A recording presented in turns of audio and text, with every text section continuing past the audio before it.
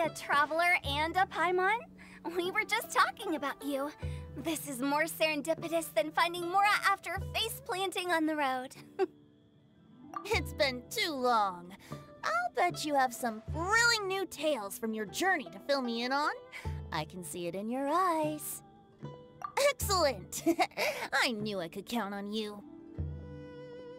What were you talking something delicious?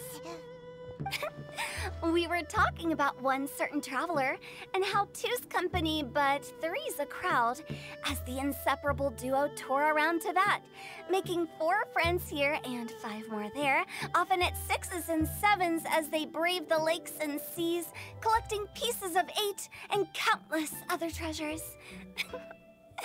they clearly must have nine lives. Wink, wink. Let's hope they have less than ten deaths. What uh, the? It just gets worse and worse. Shortly, you may attend a grand banquet at Stonegate. All will be dressed to the nines for majestic food and fine wines. And after eight long drinks and seven shorts, they'll each write six lines five times. You've been to all four corners of the world, so in three short seconds, can you guess from these two stanzas of one speech each what this event is about? Correct! It's a poetry gala, and Mondstadt and Liyue are hosting it together. Do you still remember the promise I made to the distinguished director who here during the Lantern Rite? Oh, something about writing poetry together? That's right. At the dinner table that night, I just knew this young bard was a rare talent with exceptional taste. You know, it's rare to encounter such a kindred spirit. And now, I've finally seized the chance to collaborate. It took me much trekking across the land to petition Yujing Terrace and contact the Knights of Favonius, but eventually, in the spirit of friendship and poetry sharing, I managed to successfully organize the neighboring nation's congenial poetry gala. Bit of a weird name. Liyue's poetry is known far and wide, and Mondstadt is the city of wine and song. With two nations teaming up, it'll be double the fun, and a great chance for people from both places to get to know one another. Hu Tao and I will be the co-hosts for this poetry gala. Of course, I haven't studied the various forms and formalities of Liyue poetry for very long, so please forgive my dreadful performance just now. Not at all, Venti. You followed my lead most excellently. you flatter me. Well, this sounds like fun. Let's get involved. Oh, Paimon, sure you'll be amazing. Remember that time in Liyue when Paimon gave you the first half of a couplet? Wind rises, winds never churn. You came up with the second half right away. Oh, looks like someone's got a knack for this. Perhaps we'll have to raise the difficulty a little. Alright, so basically you guys are here to discuss the activities for the Poetry Gala, right? Oh, looks like little Paimon's brain has gained a wrinkle or two. You guessed it so effortlessly, uh, but... You still guessed it wrong. Huh? Wait, Paimon guessed wrong? We came here hoping to invite a special guest. I already told you. I'm not going.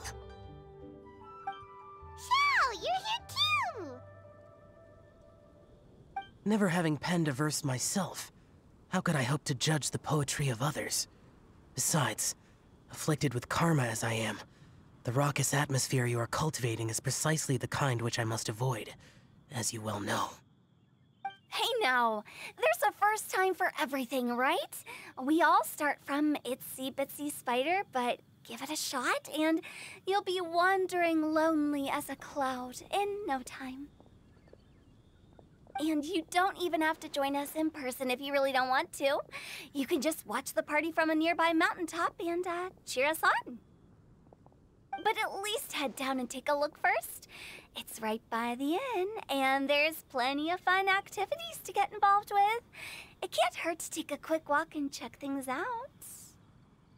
Besides, with the renowned traveler here, what is there to fear? I'll consider it.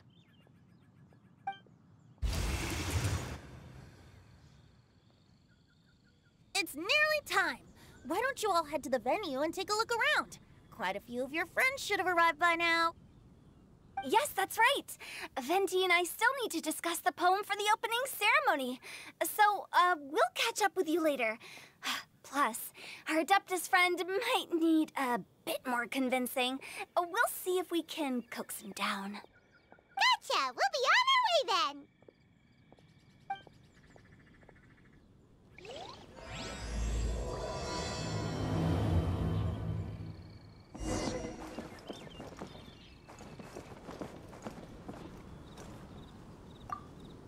How about that for an opening? Yes, yes, I like it. But if we could give it a bit more oomph, it would be even better. I think we should lead with a bang, dip into a slippity slide, then whoosh into a whoop whoop boom! Got it? Got it. Completely understood.